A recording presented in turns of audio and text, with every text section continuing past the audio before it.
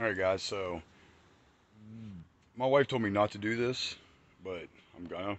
So I was downstairs getting ready to get a shower, get ready for bed, gotta work tomorrow. Come upstairs on my way to go get a shower, and I started smelling something. I'm like, something something stinks in the house. Walk over, our toaster oven's on.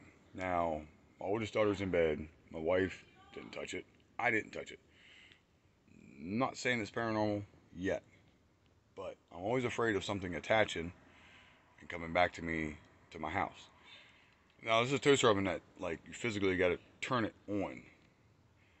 Our cats can't do it. I didn't do it. The only one left is my youngest. I don't think she would turn on the toaster oven, especially just to turn it on.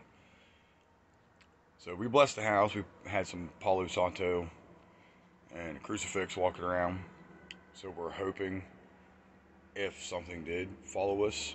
Um, I'm always worried about Kreiner House, Quarantine House, and a couple other like dark places. Now the Kreiner House is not so much dark, but there's a there's a strong presence there. It decides when it wants to come out, and we were just there, obviously. So I'm hoping something didn't follow me, and I'm hoping something didn't attach previous because I'm kind of feeling like bleh a lot. That could be just because COVID and economy, but something's weird's going on something weird has happened. I shouldn't say something weird's going on. Something weird has happened. So we're gonna give you guys some updates. I should have made a video of it on because it was weird. It done melted our crap. Here, actually, I'll show you guys real quick. Can I flip my camera around? It doesn't show. No, I'll show you real quick.